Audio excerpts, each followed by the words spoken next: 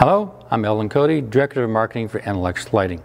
Today I'm going to give you a very short presentation on how to retrofit a 500 watt halogen light fixture by Rambush to an enLux DL2 42 watt uh, light module with a 10 inch uh, clear anodized trim.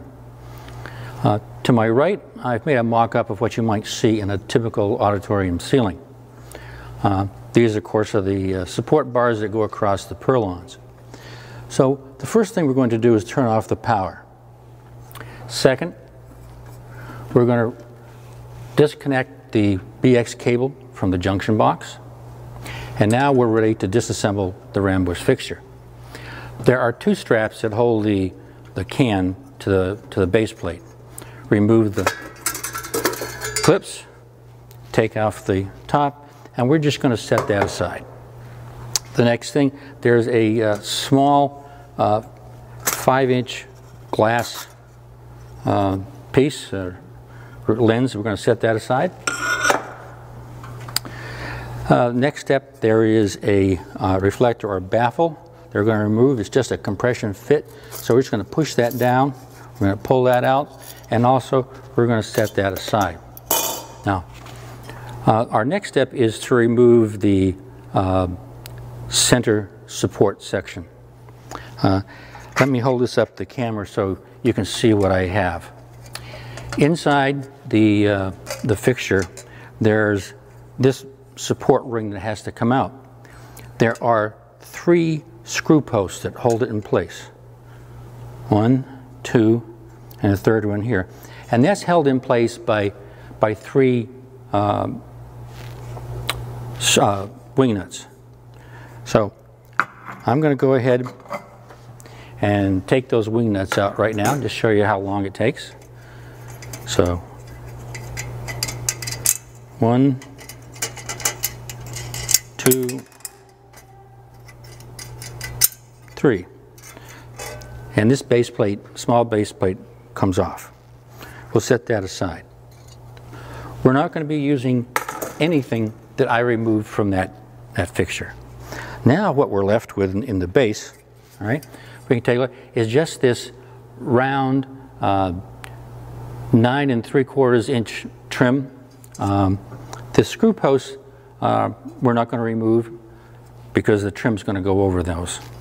So our next step is to take our enLux DL2 light module and uh, trim and assemble them. The light module has four holes at the base and it's going to line up with the four screws at the top of the trim.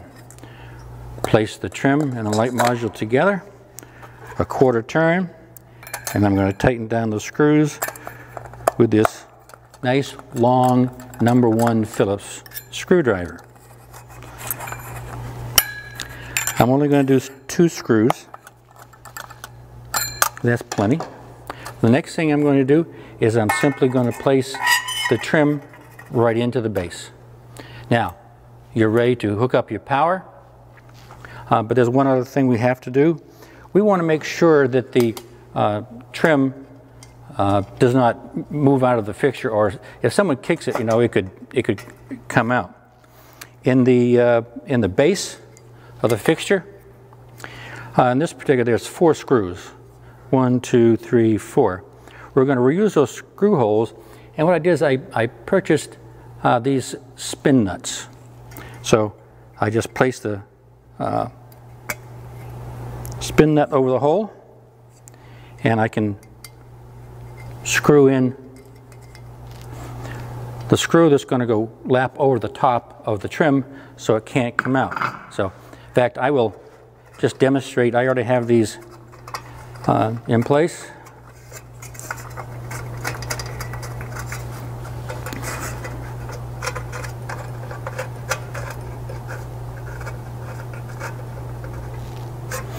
So that's nice and tight. I can even lift, lift, this right up. Okay, so those screws hold it in place. And that's all there is to retrofitting a uh, 500 watt halogen fixture to an enLux DL2 42 watt downlight. Hook up your power, you're ready to go. I'm Eldon Cody for enLux Lighting. You can reach me at enluxled.com.